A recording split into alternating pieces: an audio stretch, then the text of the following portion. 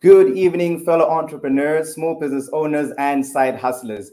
I'm Ntokozo Hlatshwayo, and welcome once again to an awesome episode of the Business Forecast. That's right, it's the Entrepreneurs Podcast. It's the show that gets you connected to a wide array of specialists successful entrepreneurs, and successful business leaders who are all here for one thing and one thing only, and that is to help you take your business to the next level by connecting you to the right information as well as the right opportunities for your business. Over the past few weeks, you I mean past few months even, we've had awesome, awesome guests coming through and giving what I believe is some of the best content when it comes to small businesses in South Africa. And this is why we're here. We're just here to constantly give you value for your businesses so that you have practical tools you can apply to your business to help you get to the next level. And to help us with this, we always invite some of the best business professionals in the country. And these are the people that you want to learn from. And we make sure that we bring them straight to you. And today, of course, we have another exciting episode and another incredible guest who has agreed to honor us with her presence on this show. Today, we have a topic that I'm sure a lot of us will want to hear about, you know, and that is unmasking SME funding in South Africa or SME funding in South Africa unmasked. We all know that we need funding to start our businesses, and we all know that it's so hard to get funding in South Africa. But there's so many things that I feel like we need to know about and need to learn about. And that's what today's show is about. And of course, We've got one of the best people on this topic in the country that you can hear from. I'm talking, of course, about Ms. Zizipho Nyanga. Ms. Zizipho Nyanga is one of the foremost experts, I believe, when it comes to SME development and SME funding in the country. She currently is a managing executive at Grindrod Bank for SME and platform banking. She's also a chartered accountant, she's an acclaimed speaker, and she also has her own podcast. Imagine she also has her own podcast show. And, you know, you can go on there to learn so much about leadership and she gives the one of some of the best content that is available out there when you want to grow either as a professional or as a business and she has agreed to come through and talk to us about this topic like you have to understand ms nyanga has been has worked for some of the best financial institutions in the country, specifically focused on SMEs and entrepreneurs. So we're about to hear, you know, from somebody who's really, really great at this topic. So without any further ado, please help me to welcome to the studio Ms. Zizipho Nyanga.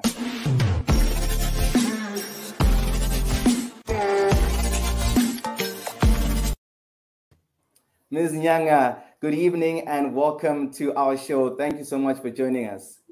Thank you, Ntokozo. That was a, a, nervous laugh or a happy laugh. I don't know what laugh it was. I really love to laugh, and uh, I'm always amazed when I hear people introducing me. Thank you very much for having me, and hello oh, to, the, to everyone who's listening. Oh, no, it's absolutely a pleasure to have you. And we just want to say thank you, firstly, for joining us. I feel like I didn't even do justice when it comes to what I could have spoken about you. There's so much to say, and there's so much value that we can derive from you. And we're just honored, you know, for this honor and opportunity to, to engage with you the way uh, we're about to today. And before we get any further, maybe we can start this off by getting to know you a bit. You know, maybe you can tell us a bit about yourself and how you ended up at this place where you're passionate about entrepreneurship and SMEs and leadership development in our country. So my name is Zizipho. I was born in Kuala. I'm married, uh, hence uh, the surname Nyanga. I'm a mother of two boys, uh, and I'm a sister. I'm a wife. Before I become a chartered accountant, I'm a human being, and I think it's important for us to remember that. And for entrepreneurs, before you're an entrepreneur and you are running around, you know, looking for funding or running your business, you are a human being um, uh, before then. So I'm very passionate about personal growth. I'm very passionate about entrepreneurship. I'm passionate about creating rather than just consuming. So the the fact that I became a chartered accountant was uh, not by accident. Uh, I think my parents saw it fit to push me towards that direction because at a very young age, I was selling sweets, I was selling ice lollies, I was selling anything I could find. And I wasn't ashamed to talk about money. Uh, and I grew up in a family where my mother was a teacher and my father was in agriculture. So uh, meetings about education and about putting food on the table, about business, um, aspirations was uh, normal for me. So I, I think that I became a chartered accountant because of that. And I thank God that my parents nurtured that um, uh, uh, uh, passion at a very young age. And uh, as I uh, navigated through my studies and career, I then found myself uh, in the space where I'm helping entrepreneurs grow their businesses. Wow. Phew, that that is quite awesome. And I, I love what you're saying. And and Mm-hmm. it's it's it's new and it's refreshing, you know, that before we're anything else, we're human beings, and it's good to get to you know know who you are, so that that drives a sort of feel, and to have parents who saw your talent and, and encouraged you in that direction was absolutely awesome, I think. And we're thankful because if it wasn't for that, you we probably wouldn't be hearing from you, and you probably wouldn't have helped as many small businesses. I mean, I've watched a lot of your videos, and I know I'm not going to mention some of the other companies, but that you work for and how much you've helped so many SMEs. It's really, really um, inspiring and it's awesome. And I always want to say, you know, thank you um, thank for your you. service to to the small business sector. But as we get into this topic, which I know you're so knowledgeable in, which is the topic of funding, maybe we can start with you know the first question that we have for today, and that is, what are some of the various um, funding avenues that are available for SMEs or entrepreneurs in South Africa? So there's a lot of uh, funding avenues available. I think I would like to start with the fact that entrepreneurs and businesses in, in the SME space need to know where are they in their growth phase. There are people that are in the survivalist, you know, stage. There are people that are uh, in the small, medium uh, enterprise and they are growing their businesses. And there are people that are in the mature stage of entrepreneurship. So once you identify where exactly you are on that growth uh, phase, you can then be able to determine what type of funding is suitable for you. Because I'm sure you will agree with me, Ntokozo, that not every business can handle debt. Mm. Not every entrepreneur would like to have a shareholder come on board. Not everyone uh, knows what's available out there. So there, there's grant funding that's available for uh, especially those smaller enterprises that are at an infancy stage. They're surviving, they're still trying to test an idea. And then there's um, development finance uh, uh, institutions that offer patient capital where you could get a loan at a very cheap um, a rate, interest rate, and also a longer loan tenure. There's also equity that's available, you know, in the form of private equity for those businesses that have a, a, a potential of scaling up uh, and become much bigger. There are private equity firms that could uh, uh, inject capital in the form of equity and walk the journey with you. But you've got to be able to let go of some of the, the shareholding that you, you hold. And I often say to entrepreneurs, would you rather have 100% of zero mm. or would you rather have uh, you know, 50% of something. So assessing where you are in your growth path as an entrepreneur will then help you determine whether you must go to commercial banks like Grindrod Bank or you must go to development finance institutions, uh, the likes of CFAS, IDC, and others, or must you go to corporates that are offering enterprise and supplier development finance where they can give you grant funding and or patient capital and they can also give you access to markets through their procurement spend. So there's a number of things available there. I often say that entrepreneurs must take the time to understand what their need is based on where they are but they must also take time to understand the mandate of each and every financial institution out there so that they don't waste time looking for finance at the wrong places. Phew, wow. Thank you. Thank you so much for, for that comprehensive answer. And I like the fact that you didn't just list them, but you also put some of the considerations that, that have to go with it because we just think when when we hear funding, you know, when I apply everywhere without actually taking the various considerations. And no wonder SMEs get to a place where they're like, ah, we've tried, there's no funding. That's probably because they don't take that that time, as you said, to actually assess where they are, to understand the mandates of the financial institutions that they are that they're approaching to see if they can even you know be considered you know um, based on that financial institution so i think that's powerful i think it's a powerful start as you say before they even think about getting funding to start off by saying, you know, where are we in our growth cycle and which are the organizations out there that are willing to work with with, with someone, you know, in, in our position.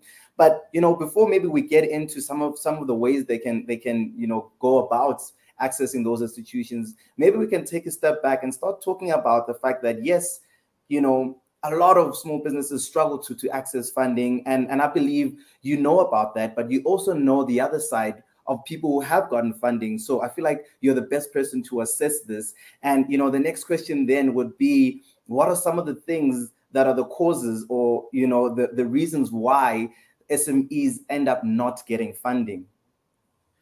You, you know, before I answer the, the question about why SMEs uh, end up not getting funding, I think it's important to also know that most people would uh, stop doing what they need to do in their businesses because they think they need funding. So that assessment of where you are in your growth phase and who can help you and who can't help you.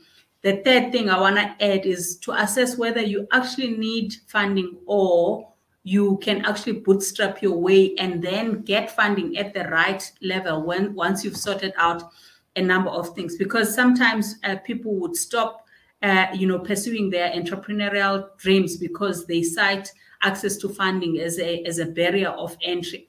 I think that it's important to assess whether you actually need funding now or you need funding later or you need funding at all.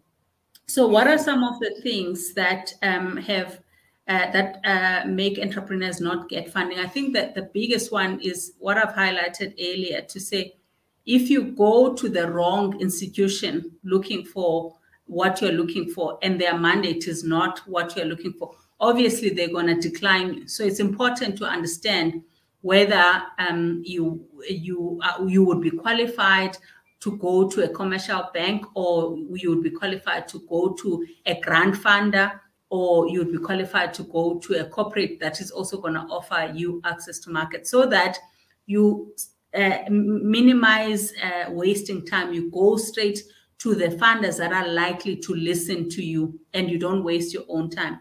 The second thing is um, researching what those funders are looking for. So it's one thing to know that, okay, for my financial needs, I need to go to a commercial bank or I need to go to a development finance institution.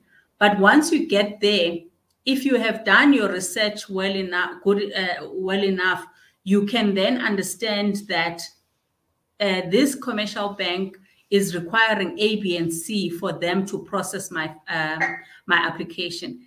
Some uh, uh, funders are looking for a business plan. So why waste time? Go and knock and not research and say what are the business requirements uh, for my funding. So one of the biggest things that is required for funding is to have a business plan or some form of a, a business proposal with financial projections to determine exactly if you were given these millions of rands, how would you use them? The other thing I want to highlight, the third one is the skin in the game. So if you are borrowing money from someone, how do you expect them to give you their money if you are not willing to put your last cent on this business venture? Mm. So having skin in the game is showing the funder that you believe so much in this idea that you are willing to bet your last cent and put it in here because you've researched the business idea, you've done what you needed to do to make sure that even though there is risk, you will mitigate that risk this way and you're willing to put your last cent uh, to it. And then uh, lastly, I think this is this point about uh, wanting to be jack of all trades. It's something that a lot of uh, entrepreneurs uh, suffer from, particular, particularly early stages of entrepreneurship where because someone has come with an idea, it's their idea alone.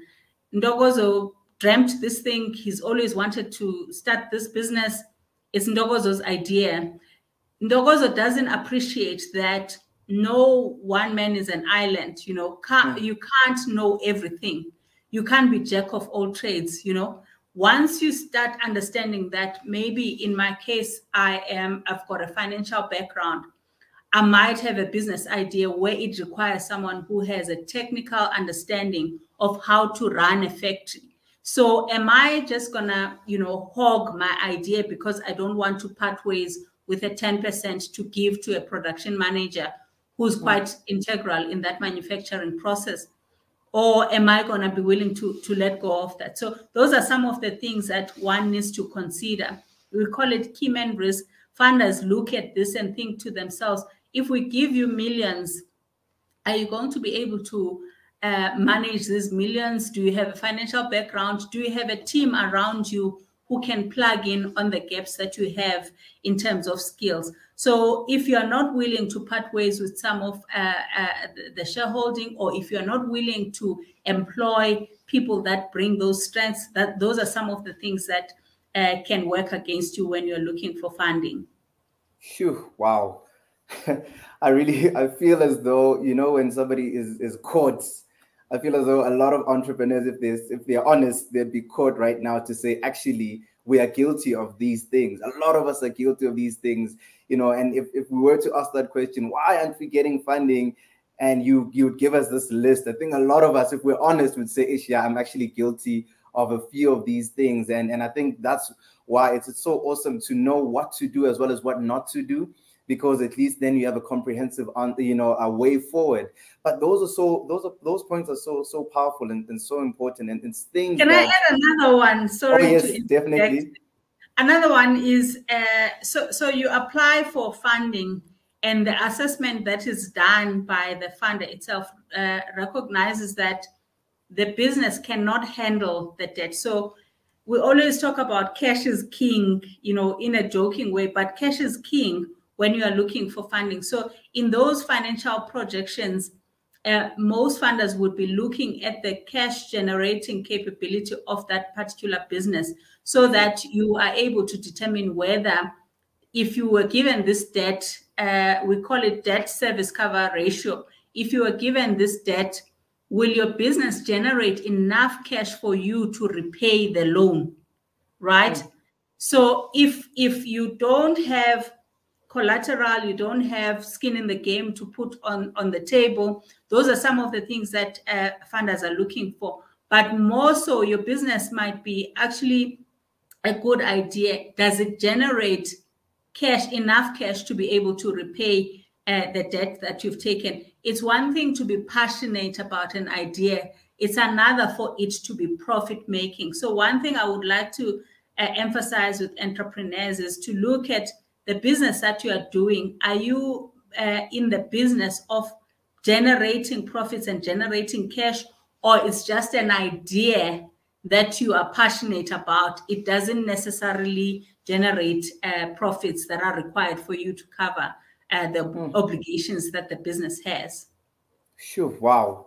That that is really eye opening. Um, I, I have to be honest with that, and it reminds me of one of the things uh, that you you once spoke about in, in another interview where you know you, you cited this thing where entrepreneurs go to a consultant to have their business plans drawn and they have no idea what's in that business plan. And if you ask them to give you a one minute pitch on the business they don't they can't do that. And let alone their financials you know. So if they don't understand the financials of their business how can they even you know expect a funder to to to, to commit to that? So i think that that is something that a lot of small business owners need to need to look at. And would, would you then advise them to to learn how to write business plans or to be part of the process with a consultant while the business plan is being drawn up?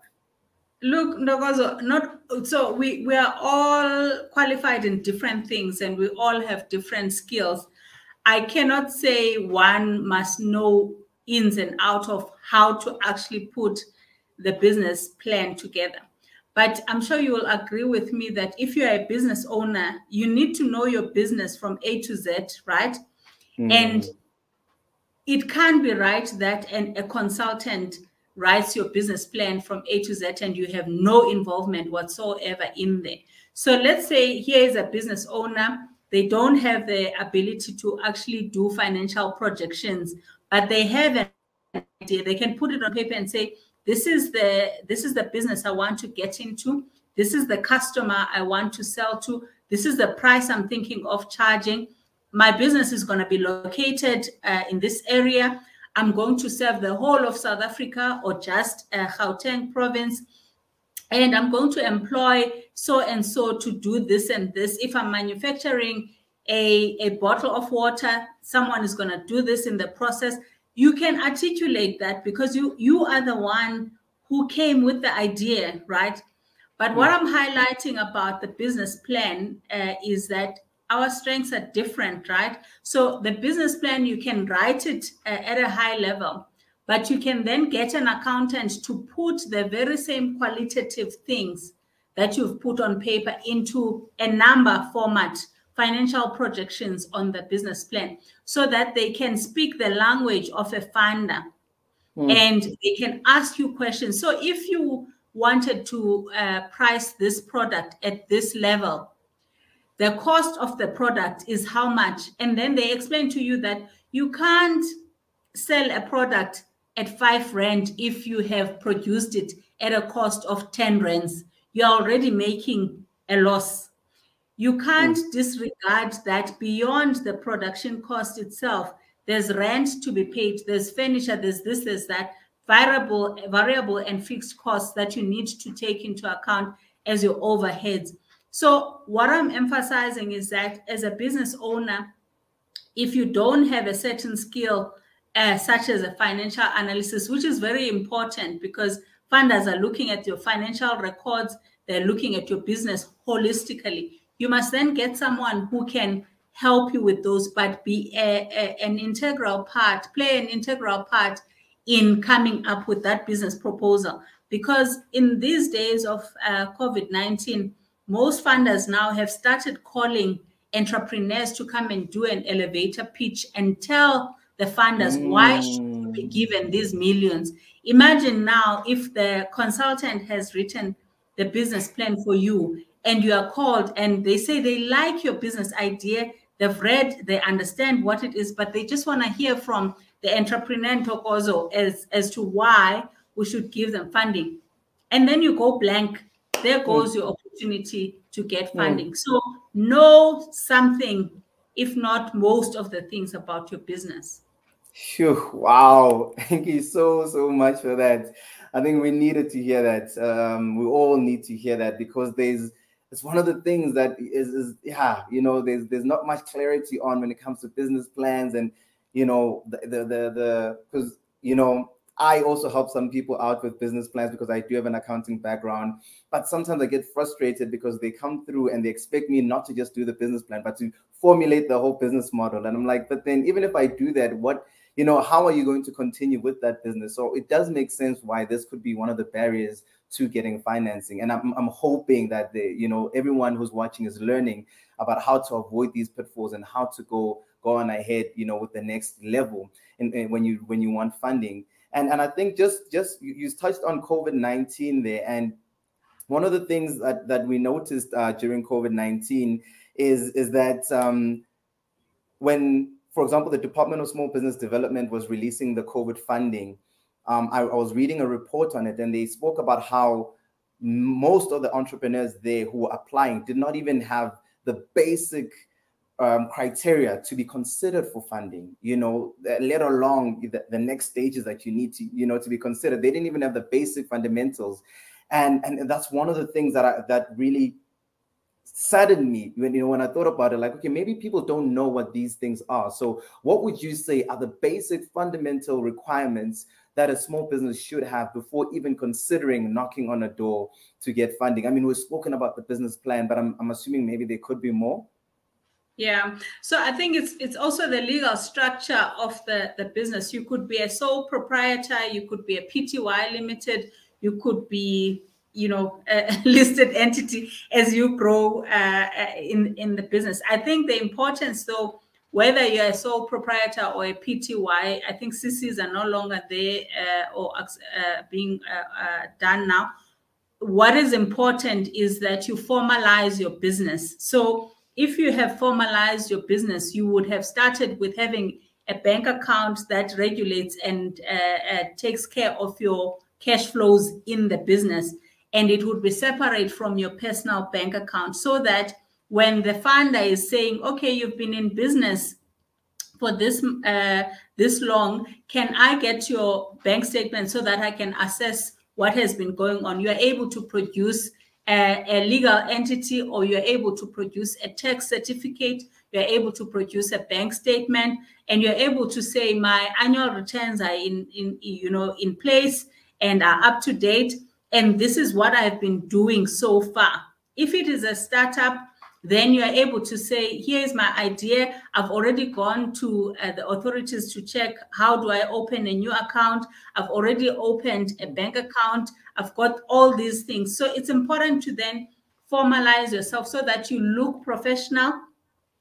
Uh, I'm not saying incur unnecessary costs if you don't have the money, but if a, a funder is going to send you uh, business requirements, do you have an email address? The answer should be yes, even if it's not a, an email address that's got your company name, but you could even use the free ones like Gmail and say ABCPTY Limited at Gmail and demonstrate that you are aware that you need to look professional. These are the things that you are going to be uh, doing. So formalizing your structure is, is very important so that you can submit the requirements to, to the funders as and when they're looking for. I can't emphasize the importance of financial uh, uh, recording in terms of the basic. That's the basic I want to highlight amongst everything else because if you have your financial records in place, then the funder is able to assess what is going on with your business.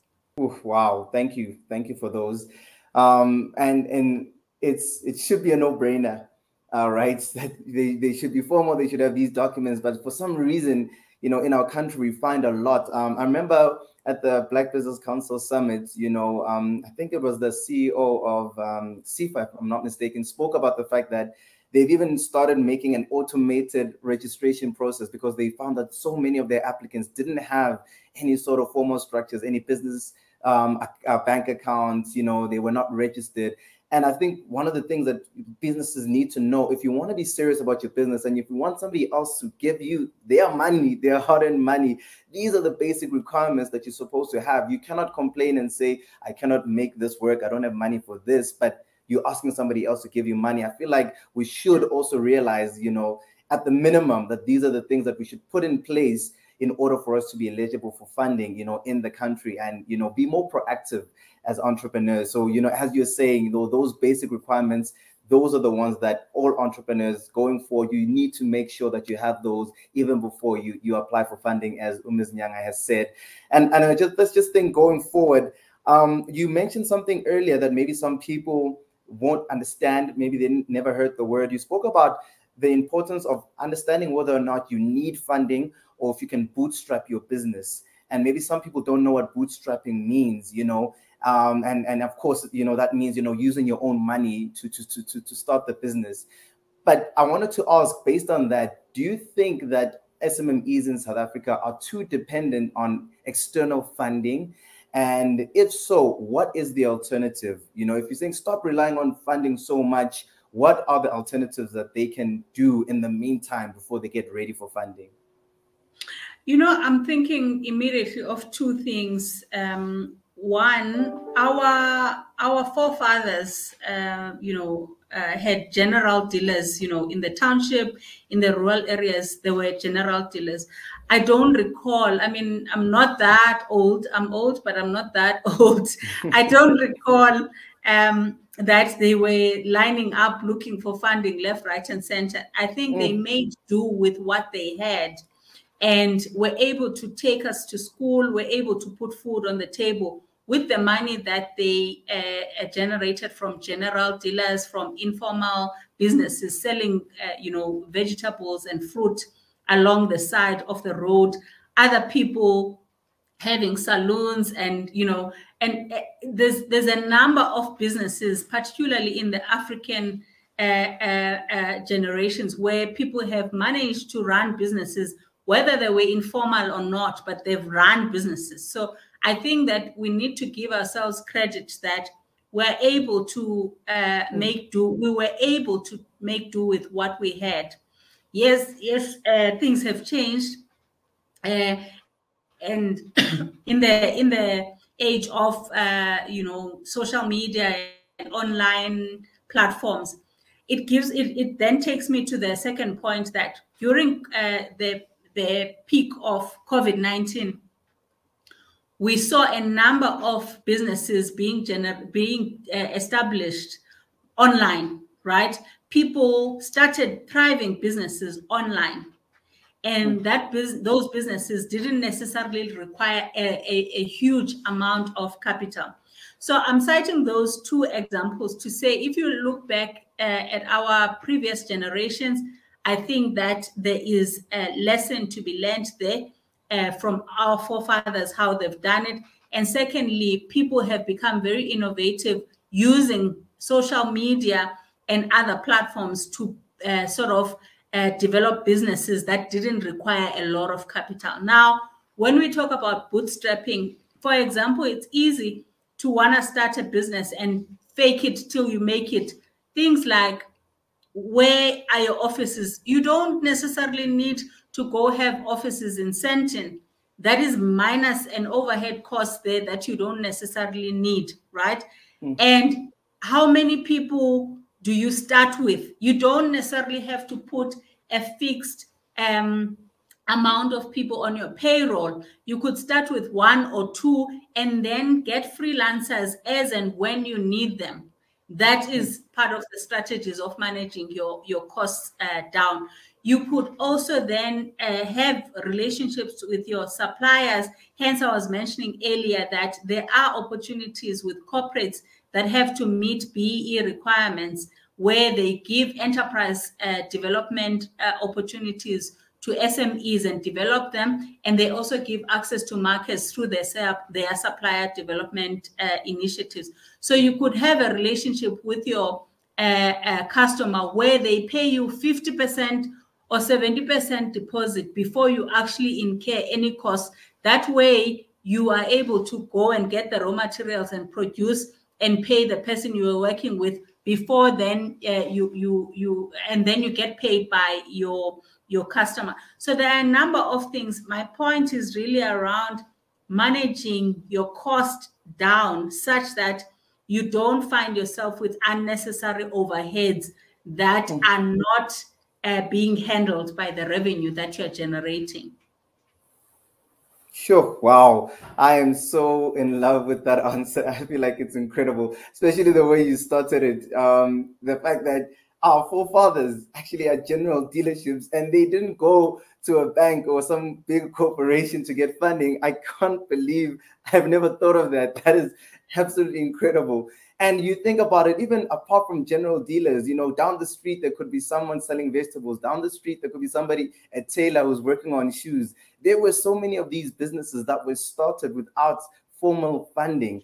And you know, these are some of the I feel like the mindset that we have to go back to sometimes as business owners and maybe even learn lessons from them concerning yeah. how did you start, you know, and and maybe those are some of the conversations that we should be having with them. So at least we're not we're not so dependent on external funding. And when we do go ask for funding, we're at a place where we have generated some income the you know the funders do see that there is some traction and i believe traction sometimes plays a huge role when when you when you're asking for funding um, so I really do uh, love that answer, and I, I hope everyone who's watching, you know, can start thinking outside the box concerning ways in which you can start your business venture, you know, with, without needing you know to apply for funding. I feel like it's a similar stereotype not stereotype it's a, it's a similar mindset to you know so many people who are applying for jobs and because they're not formally employed they're sitting doing nothing instead of using their skills to do something.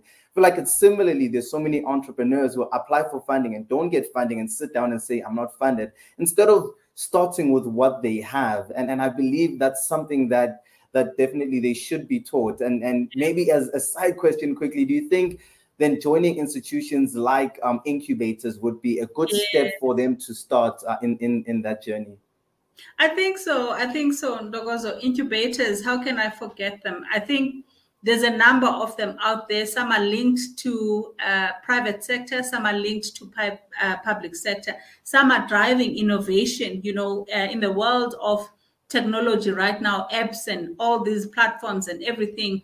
uh, mushrooming everywhere. There, there is support out there. The nice thing about incubation is that you are under, you know, the wing of uh, someone who's willing to invest in uh, your idea, someone who is willing to invest, even if you fail, you fail forward, which is something that we need, I think, in South Africa in terms of encouraging failure so that people can learn from failure as part of success and move forward because if we are not failing you're not trying right so mm. so in the world of entrepreneurship taking risk should be encouraged uh, failing forward should be encouraged and incubators have that risk appetite and ability to put you under their wing and make sure that um, you sort of uh, self-correct as you go along and you learn from those mistakes Wow, I'm glad I asked this question. Thank you so much for that. And I really hope everybody got that because I feel like it's one of the shortcuts that we can have being part of incubation systems while we're still building our, pro- our products or um, minimum viable products and things along those lines. So thank you so much, ma'am, for, for that answer. And unfortunately, we have come to you know the last question uh, because of time. Um, although we've been enjoying this so so much, um, I'm learning so much, and I believe the others are learning so much as well. But just finally, you know, just wanting to get a bit into your your banking, you know, your banking background or your banking current um, current um, yeah expertise.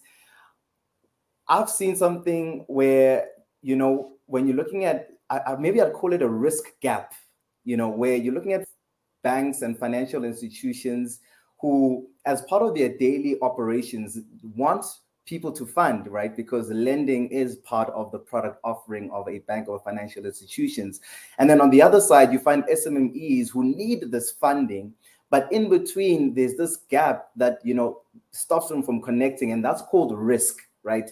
You know, SMEs are very high risk um, in nature. And that I'm sure is one of the reasons why banks and financial institutions find it very hard to fund a lot of them because of that risk that that that that exists. You know, so what are some of the ways you think SMEs or some of the things SMEs can do to reduce the risk profile when it comes to the site of financial institutions? I just think generally SMEs are SMMEs are, are, are, have a high risk profile by, by virtue of being in the entrepreneurship space. Um, one of the things that is important is to define the market that you are playing in. You know, be clear as to who are you selling to, and be clear of the cost of uh, doing business, and understanding what works for you and what doesn't work for you. But I think for me, I would twist that uh, question around and sort of have a call to action for financial institutions. Where I am at Grindrod Bank, we're trying to find ways to partner with the relevant people in the entrepreneurship ecosystem, uh, where you can sort of play your role uh, wherever you are, but together we have a much more meaningful impact so that we can then help address the and mitigate the risk that you are highlighting in the SME space. So, for instance, if we partner with a, a government institution that offers grants, and as a commercial bank, you're mitigating your risk there because there's someone who's willing to take the first loss and they're willing to put a grant mm. funding, they're willing to put a, a patient uh, capital where it's longer uh, tenure and it's got less interest. So a combination of all these players in the entrepreneurship ecosystem, including commercial banks like us, development finance institutions, and public uh, institutions that offer grant, we can then be of assistance to SMEs, uh, even with that high risk. Because remember, entrepreneurship and SMME is a very uh, a big contributor to the economy. It's a job creator in the economy. So if we are very much risk averse, we're never going to achieve what some of the countries like Germany have achieved uh, through supporting SMMEs. Wow. Shoo, that is so incredible. Wow. I wish, I don't know what to say. I wish I, you had a bigger platform to say what you just said because that's that's mind blowing. And the fact that Grindrod Bank is working on those is absolutely magnificent you know that, that there should be an ecosystem you know, collaboration when it comes to reducing the risk profile of SMMEs so that at least you know all parties you know are, are, are helping one another to reach this goal of you know having a thriving ecos i mean sme um, yeah. sector in our country. We need that.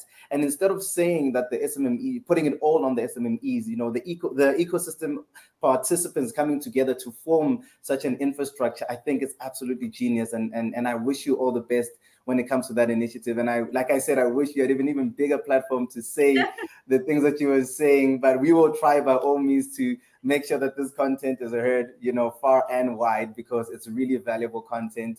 And with that, we have come to the end of the show, unfortunately. And we really hope to have you again in our season two. But today was mind blowing and, you know, value. You feel like you've created so much value and changed so many lives of SMMEs as long as they, they listen to you today. I want to say thank you so much for today and also thank you for the constant job that you're doing you know, for SMMEs and for people, both on a personal capacity and also uh, where you are employed. And before we let you go and say goodbye, maybe you could tell people where they could find you. I know you have your own website, which is amazing. Um, and maybe any parting words that you might have for our, our viewers. No, thanks. Uh, I'm very much um, happy that I, I was invited here to talk about entrepreneurship. I'm very passionate about that. I want to say to people, let us not tire from creating uh, rather than just consuming. You can follow me on uh, LinkedIn and Instagram. I am much active there on those two platforms and of course my website uh, www.ziziponyanga.co.za and i work for uh, Grindrod Bank which uh, is uh, assisting entrepreneurs with uh, funding in the sme space. Thank you so so much ma'am. Uh, it's really really been fantastic having you and yes, like I said, I will only have great things to say and, you know, respect and inspiration that I draw from you. I've been following you on LinkedIn for a very long time. Well, not a long time, about a year now. And you post daily, I think, and it's so encouraging and so inspirational. And I hope everyone you do follow uh, Umiz Nyanga on LinkedIn and on her website as well. You'll get some great content like what you heard here today. So, with that, we want to say thank you, ma'am, and goodbye.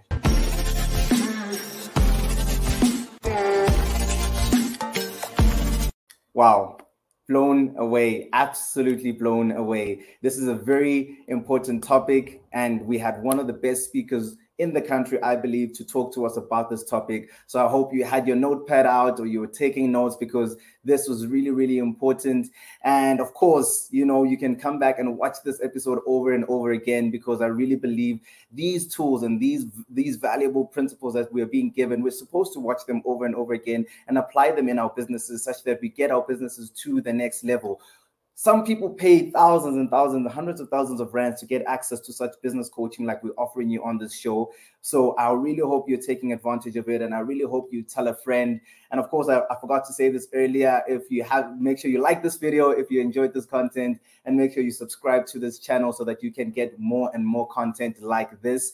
So this is the business forecast, and it's all that we have for you today. Before we go, of course, I always want to give a shout out to Vugani M Productions, who are responsible for our cameras for our studios but also you know they they do offer other services that you might need in your business so make sure that you you know you hit them up and you check them out on social media as well and before I go, I want to remind you that every Monday at 10 past 1, I do go on Hope Alive Radio and I carry on the discussion that we had here. So next week, course, I'll be talking about, you know, the, the episode that we had today, just breaking down the things that Umiz I had for us and, you know, making it more maybe palatable for those who who, felt overwhelmed. But make sure you do join me on Hope Alive Radio every Monday at 10 past 1. It's awesome. It's amazing. And again, we do connect businesses for free. We advertise two two or three businesses for free there on that channel. So make sure that you you if you're interested, just hit me up, comment on on this video, and I'll make sure that I